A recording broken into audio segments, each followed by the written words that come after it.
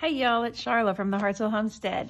I'm here with a quick Bible journaling entry using the Creative Retreat Kit's newest release, Higher Ways. I'm going to be utilizing some of the pattern papers from the Faithfilled Digitals, as well as a copy of the back of my devotional. Y'all know I like to keep my devotionals intact. I like to go back and reread them. And we're also going to be utilizing some pieces from the um, cardstock stickers. The uh, Hopefully, I'm going to incorporate this beautiful stencil I love these stencils. And this one is a gorgeous pattern, this little diamond. It's repeated in some of the papers. And so I want to put all that together, hopefully in a little crafty paper tree. We'll see how it goes. Let's get started. I'm very excited about this entry today that I have in mind because I've seen these little paper piece trees before, some made out of washi, sometimes with fabric and whatnot, but I've wanted to create one for a while now, and the beautiful papers of this kit are perfect for this little project. Now, I'm working in my illuminated scripture journal uh, for the book of Luke because my young adult group and ladies workshop that we had, um, we're reading through uh, the chapter, the book of Luke chapter a day as we get closer to Christmas. That way, we are studying about the life of Jesus as our, our December focus. And so, um, even though the account of the cross from our devotional is noted from John, I wanted to include this um, entry as part of this reading project that I'm doing. And I love the size of these journals. So I'm going to uh, go ahead and record that here. And I'm in Luke 23 um, for this entry. I'm using the Tim Holtz Distress Paint in frayed burlap to lay down a little bit of background color. I was a bit ambitious and poured out a little more than I needed, but no worries. As soon as I finish here, I take that off screen and I pour it back into the original container. I don't waste craft supplies around here. Mm-mm, no way. Um, as we are literally going to now watch paint dry, I am off camera cutting um, the paper pieces, the swatches, into randomly sized um, kind of sort of like little triangles and angle pieces.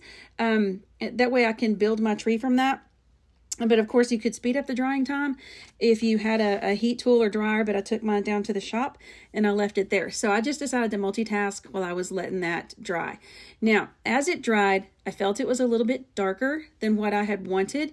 So as I tried to pull some of the color off, I realized that I could get a little two-tone look. Now, my initial intention with this stencil was to lay another layer of color on top of that.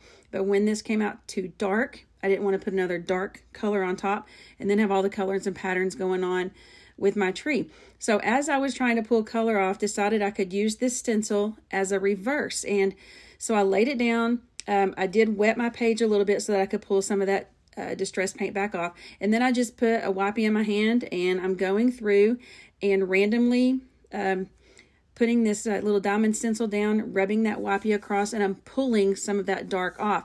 Now I'm going to cover a lot of this. You'll see that from the bottom up, but this does open up the top a little bit. It gives a subtle pattern.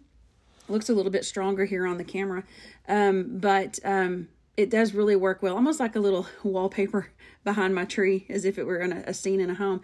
Now I do love this distress paint. It's so light and a little bit forgiving because I did get a little bit on the page uh, facing and I could just take my wipey and gently wipe that off and kind of remove the color so it cleaned that up. Now, if you're in a book, uh, Bible, journal, and you happen to get paint over there, you could paint a border around, you could continue, you could find a way of working that little accident into your design if you wanted to. Now, over the next several minutes here, I'm going to simply be building a tree form from a paper cuts. I've put um, a layer of Mod Podge down to just simply hold them in place as I work. Um, this part of the page gets a little messy, but that's okay. Most of my pages are kind of a result of a creative journey, and I take lesson from that. Life can get messy at times, but the outcome from those moments can still be beautiful. So instead of getting too worried about how it's looking along the way, I continue on building and going upward with each piece, knowing that at the end, I'm going to have a whole tree together and I think it's going to look uh, cohesive. So I'm really happy with how it looks in the end. I think it's really cute.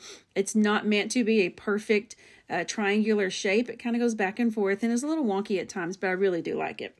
This devotional that Jesse wrote for our kit this month is the perfect following for me as um, my study last month's kit focused on God's plan for our lives. Uh, Jesse's illustration of God as my pilot and me as a passenger just reinforces that my trust is safe and secure in my sovereign God. It isn't my job to be in control, but to trust and to learn and to grow from my God who has the perfect plan for my life. Even if I don't understand the course that I'm on at every second, every moment of my entire life. My favorite quote from her devotional this month says, As children, as his children, God shows us that our strength is not in strategizing as others do, but in trusting the Lord and his sovereignty.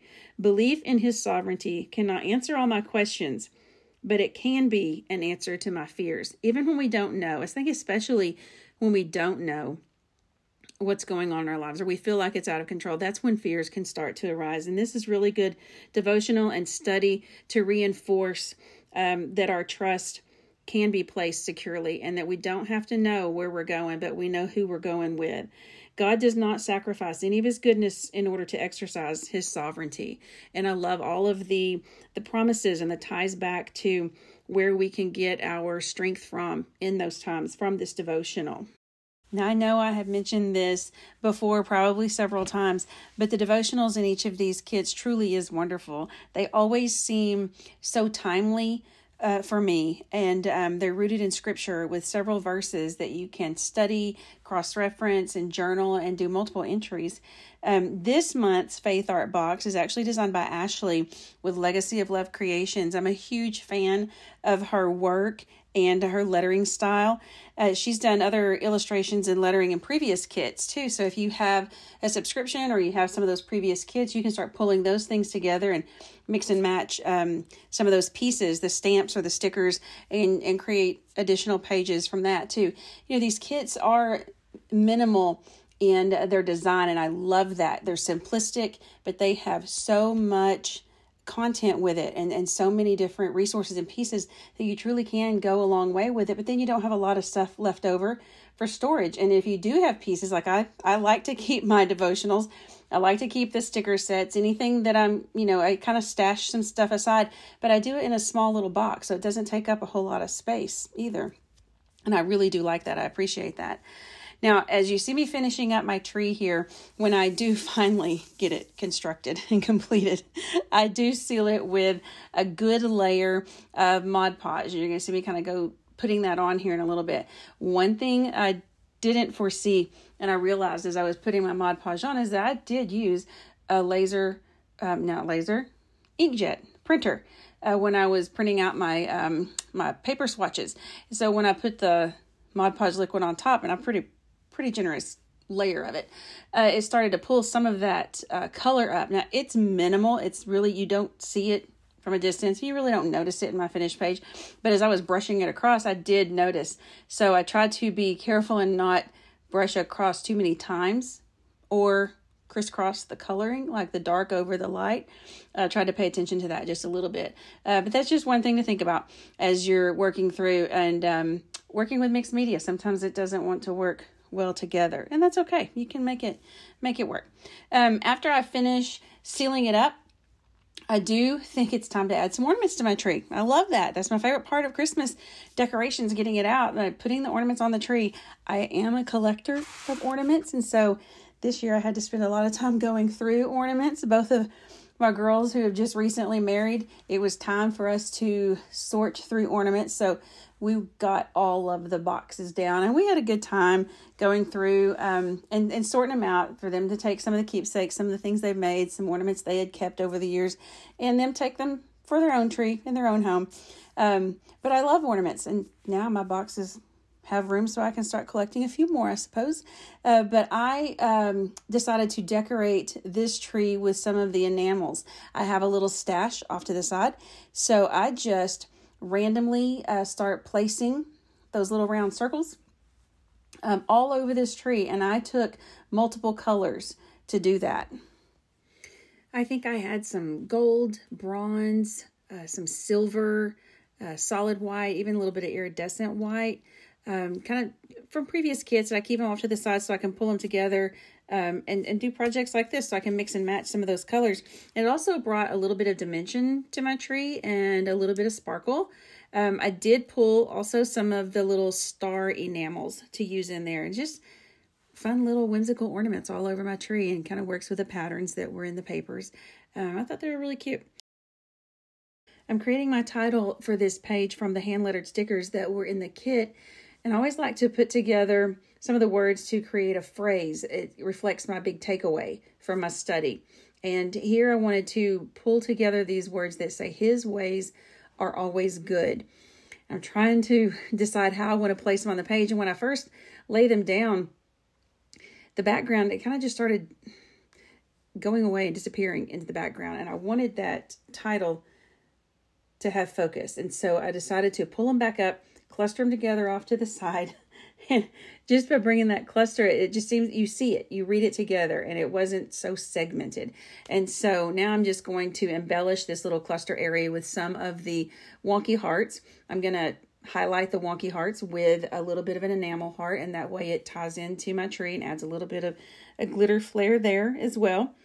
Um, I'm going to place several around here, and then as I'm doing that, I'm already noticing that I've got a little bit of an empty space sitting over onto the left side of my page. And so I'm kind of processing with the stickers and I'm going to fill that with some of the little little doodle stars that are in um, circles. I decided to kind of drop them over to the left and um, make them look like little ornaments. They're kind of floating or hanging from the top of the page. And so I um, highlight those as well. I bring some of the little circles uh, the enamel circles and, and, put them in the middle. And uh, that way they kind of match uh, the rest of the page. And it just ties it all together. And here I'm just going to work on finishing it up and um, bringing some cohesiveness to it. I do a little bit of doodling um, also to bring those, to give those little ornaments a little connection to the top. So that way they're not just sitting over there uh, with no purpose. I'm going to give my text a quick outline as well to tie it in with the black lines that I did around the ornaments, and that should pretty much finish up this page. I've had fun with this crafty little page, and I'm looking forward to my reflection journal with this kit. If you'd like to join me with the Higher Ways kit, I'll put a link in the notes below. I've enjoyed being with you today, and I hope you all have a wonderfully blessed day.